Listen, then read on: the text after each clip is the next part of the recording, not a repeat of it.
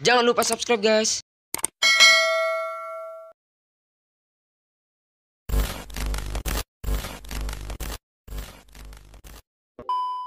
Bagaimana kabar kalian semua? Semoga baik-baik saja. Amin. Oke, pada kesempatan kali ini saya akan membagikan tutorial atau tips kepada kalian semua yaitu bagaimana cara menonaktifkan panggilan di Telegram.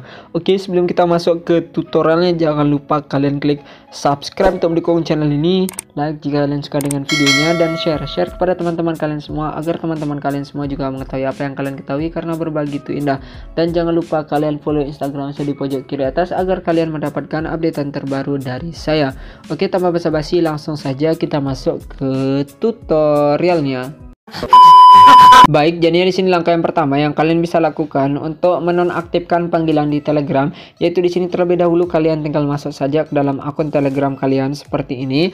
Oke, setelah itu di sini langkah yang kalian lakukan yaitu kalian tinggal klik saja garis tiga di pojok kiri atas seperti ini. Oke, setelah itu di sini kalian tinggal cari saja fitur yang namanya fitur pengaturan. Di sini terdapat fitur pengaturan, kalian tinggal klik dan masuk seperti ini. Nah, kemudian di sini langkah yang kalian lakukan yaitu kalian tinggal cari saja fitur yang namanya privasi dan keamanan. Di sini terdapat fitur privasi dan keamanan. Kalian tinggal cari saja dan kalian masuk ke dalam privasi dan keamanan seperti ini.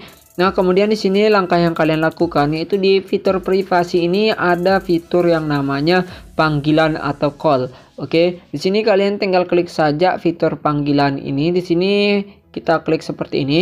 Maka di sini siapa yang dapat memanggil Anda? Jadinya di sini jika kalian mengatur dengan semua orang, jadinya di sini yang dapat memanggil atau yang bisa melakukan telepon dengan kalian itu semua orang. Jadinya di sini misal kalian pilih kontak saya, jadinya yang bisa menghubungi kalian via telepon itu cuma di kontak kalian saja atau di sini kalian bisa saja mengubah ke tidak ada. Jadinya kalau ke tidak ada ini jadinya kalian sudah bisa menonaktifkan panggilan di Telegram dengan kalian menceklis saja di fitur yang tidak ada ini. Jadinya di sini kalian sudah bisa menonaktifkan panggilan di Telegram. Kalian tinggal klik saja centang di pojok kanan atas seperti ini, maka kalian sudah bisa menonaktifkan panggilan di Telegram dengan mudah.